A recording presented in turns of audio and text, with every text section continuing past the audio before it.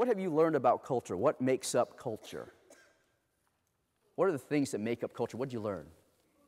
Food, yeah, the types of foods you eat that get passed down from generation to generation. A set of beliefs, mores, uh, uh, rituals, ways of doing, all, all those, yeah, traditions, all those types of things, right? Those create culture. And when we talk about culture this morning, I don't want you just to think about ethnic culture. Culture is uh, what we might define as the commonalities that you would observe within a, any particular group of people. So not only do we have Asian culture, African American culture, but we have teacher culture. We have engineering culture. We have poor culture and rich culture. So we have, we have uh, I want you to expand your understanding of culture and think about that way as we talk about culture this morning. Let's, uh, let's take a look at a very, uh, very good definition of culture, one that I like a lot. Uh, it's, it's offered up by sociologist James Spradley. Spradley says that culture is the acquired knowledge people use to interpret experience and generate behavior. Culture is the acquired knowledge people use to interpret experience and generate behavior. We're going to take a look at that definition, break it up into three pieces, and see what each of those three pieces says to us about human behavior.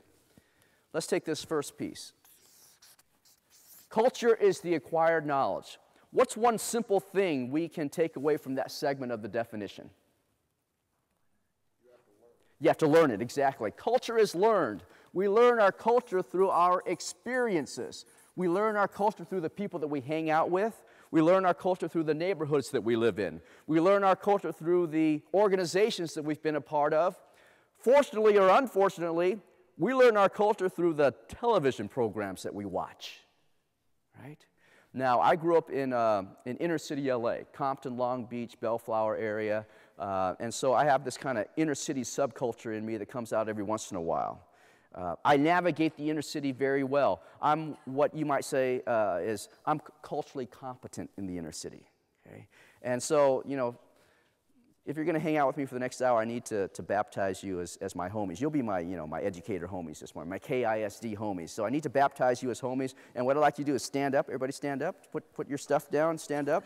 And uh, you're going to have to get out of your seats just a little bit, maybe not too much, but get out of your seats uh, uh, and walk around. And what I'd like you to do is to go around to as many people as possible uh, and do this. If you know them by name, read their name and say, like, like Susan, Susan's right here, go up to them and say, Susan, you got it going on, and give them a big high five, okay? So you got it going on and give them a big high five. That's, that's what I like you to do. Just take some time to greet those around you with that big high five, and you got it going on.